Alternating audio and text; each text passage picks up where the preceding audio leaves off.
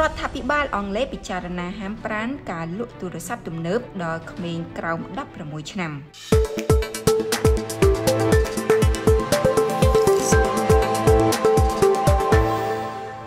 យោងតាមការសិក្សាកាលពីខែមីនាដោយ Parent Khan ដែលបានស្ទង់មតិឪពុកម្ដាយចំនួន2496នាក់ដែលមានកូនតូចតូចចូលរៀននៅក្នុងប្រទេសអង់គ្លេសបានរកឃើញថា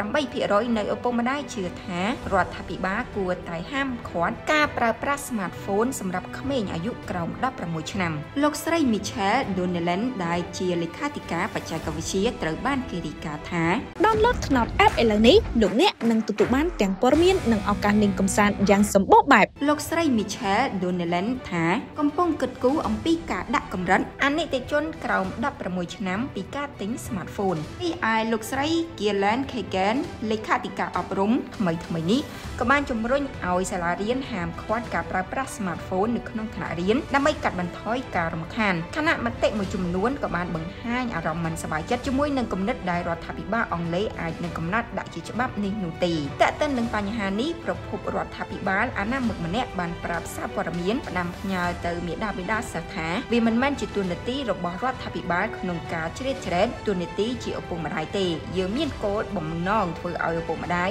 យល់ដឹងកាន់តែច្រើនអំពីផលប៉ះពាល់ហើយប្រើអំណាចរបស់ពួកគេដូចជាទៅរឹតបន្តឹងលើការចូលគេហទំព័រឬកម្មវិធីផ្សេងៗនិងអាចប្រើប្រាស់កម្មវិធីគ្រប់គ្រងមេដាបេដាដើម្បីតាមដានកូនកូនបាន។